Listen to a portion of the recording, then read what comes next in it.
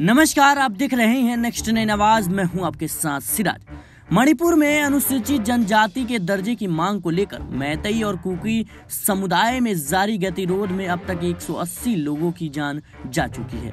23 मई को मैतई और कुकी लोगों के बीच हिंसा भड़की थी, जिसके बाद विकराल रूप धारण कर लिया और आगजनी से लेकर दुष्कर्म तक की घटनाएँ सामने आई थी।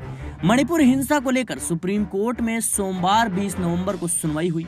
सुनवाई के दौरान मणिपुर सरकार ने सुप्रीम कोर्ट को बताया कि तीन मई से दुष्कर्म और अन्य आपराधिक घटनाओं से पीड़ित महिलाओं को जो है पाँच करोड़ रुपए की सहायता राशि दी गई है। राज्य सरकार ने यह भी बताया कि यह राशि एक समर्पित बैंक अकाउंट में ट्रांसफ़र की गई है, जहाँ से पीड़ितों को मदद पहुंचाई गई।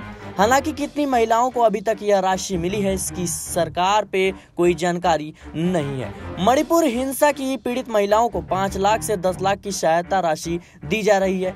जिन महिलाओं की हिंसा में मौत हो चुकी है, यह सामूहिक दुष्कर्म से पीड़ित महिलाओं के लिए जो है पाँच लाख से दस लाख तक की सहायता राशि दी गई है। वहीं राज्य सरकार ने यह भी बताया कि हिंसा में घायल महिलाओं के लिए एक लाख से नौ लाख तक रुपए की सहायता जो है बैंक अकाउंट में ट्रांसफ़र की गई है। तीन मई को भड़की हिंसा के बाद से अब तक मणिपुर में 180 लोगों की जान जा चुकी है। अगस्त में मणिपुर सरकार ने सुप्रीम कोर्ट को बताया था कि केंद्रीय जाँच ब्यूरो यानी सीबीआई महिलाओं के साथ दुष्कर्म और छेड़छाड़ और हत्या के 20 मामलों की जाँच कर रहा है। राज्य सरकार ने बताया कि पीड़ित महिलाओं को 5 से 10 लाख रुपए तक की सहायता राशि दी गई है। सुप्रीम कोर्ट के निर्देश पर राज्य सरकार ने पीड़ितों को सहायता राशि देने की यह स्कीम शुरू की थी। तो बता दें कि मणिपुर हिंसा लगातार जो है अब थम नहीं रही है। ऐसे में सुप्रीम कोर्ट में सुनवाई के दौरान सरकार ने सफ़ाई दी और महज ये बताया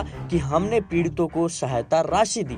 लेकिन जिस तरीके से मणिपुर में हिंसा हुई महिलाओं को नग्न घुमाया गया, दुष्कर्म हुआ और कितने लोगों की जान गई और कितने लोग जो है घायल हुए, कितने घर जले, कहीं ना कहीं सरकार को अब सुप्रीम कोर्ट में जवाब देना पड़ेगा। फ़िलहाल इस खबर में इतना ही। देश और दुनिया की तमाम खबरों के लिए बने रहे नेक्स्ट नवाज़ के साथ।